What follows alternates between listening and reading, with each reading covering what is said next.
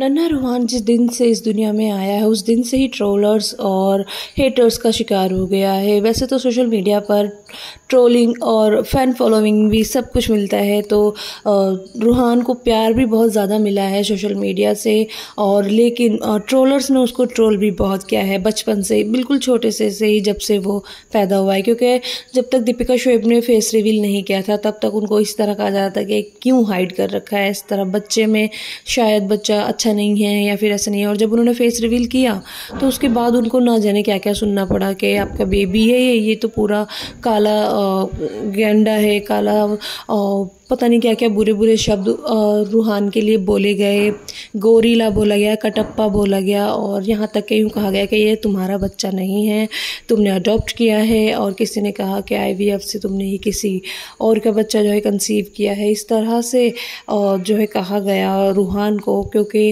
रूहान थोड़ा सा जो है पहले दिखने में थोड़ा अच्छा नहीं था, रंग में उसका डार्क था तो इस वजह से लोगों ने रूहान को तरह तरह की बातें बोली। लेकिन छोटा बच्चा तो कलर और अपना जो है, अपना फेस फीचर सब बदलते हैं जैसे जैसे बड़ा होता है।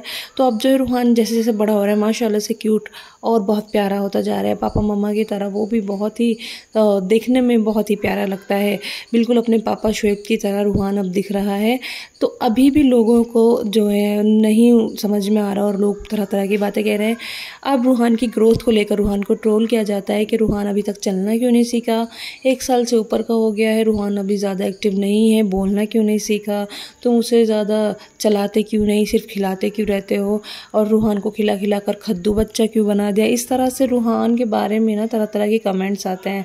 तो आप सोचें कि इन सब चीज़ों को देख कर शुभ दीपिका को कितना बुरा लगता होगा, उनका दिल कितना दुखता होगा। पाँच साल बाद उनको ये इतनी बड़ी खुशी मिली है और कोई कोई बच्चा तो बहुत धीरे धीरे ग्रो करता है, बहुत धीरे धीरे चलना सीखता है, बोलना सीखता है, हर एक चीज़ को बहुत ही ज़्यादा टाइम लेता है। तो उसी में से रूहान है और वैसे भी प्री मेच्योर डिलीवरी थी तो थोड़ा सा तो टाइम रूहान ले रहा है। लेकिन इस बात के लिए इतना बड़ी बड़ी बातें नहीं कहनी चाहिए किसी नन्हे बच्चे के लिए। आपका क्या ख्याल है इस बारे में? आप क्या कहना चाहेंगे?